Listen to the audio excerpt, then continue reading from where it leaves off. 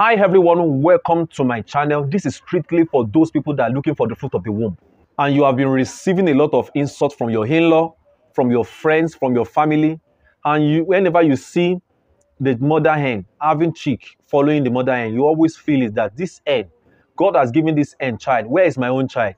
You have been in that marriage for 10 years, 7, 10, 15 years, and 20 years, there is no child. This is for you the solution just come and i want to give you that this is the right video for you to watch right now to enjoy the fruit of the womb. If today is your first time that you're watching this channel i want you to click the subscribe button. I want you to share this video. I want you to do it. Psalm 127 verse 1 to 5 psalm 127 verse 1 to 5 is what you are going to read inside water. You will get a bottle water get a bottle water. Open the bottle water and read psalm 127 three times. Psalm 127 three times after reading it inside this bottle water three times, you are going to now prophesy. Use 10 minutes to prophesy. When you use 10 minutes to prophesy inside that water and prophesy your new baby now, oh Lord, oh yeah, my womb now starts. New baby, come now from heaven. You begin to say, Lord Almighty, I want to use my stomach to carry baby. I don't want to adopt any child.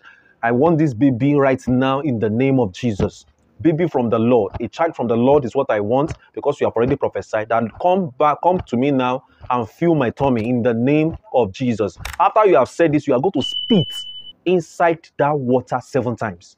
You will spit one, two, three, four, spit it.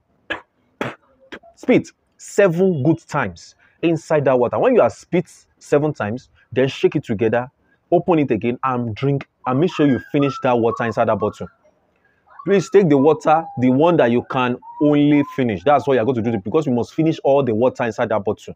Immediately you are done, that midnight, hmm, don't miss it. Meet with your husband. Meet with your husband. But the, before you do it, always know, make sure that your husband is around that same night that he will come home. It's not the husband that used to travel all around. Make sure you meet him and your testimony will come. You will not miss that month. I am praying.